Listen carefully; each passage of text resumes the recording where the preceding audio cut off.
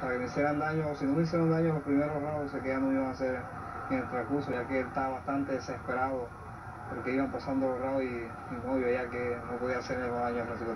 ¿Fue limpio en el clinch? Cuando llegaron al clinch, ¿fue limpio él o de pronto te, te trató de meter un poco la cabeza arriba? No, fue limpio, realmente eh, Cepeda fue un boxeador digno, limpio, sin ninguna uh, mala intención.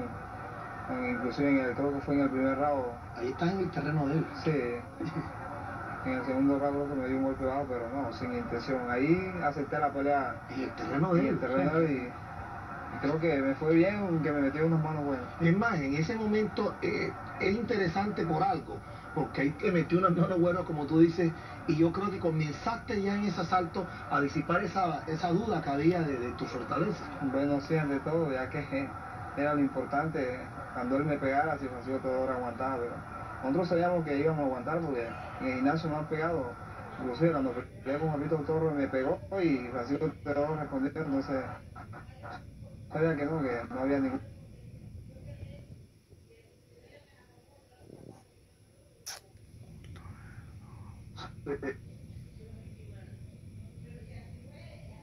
de la parte defensiva en corto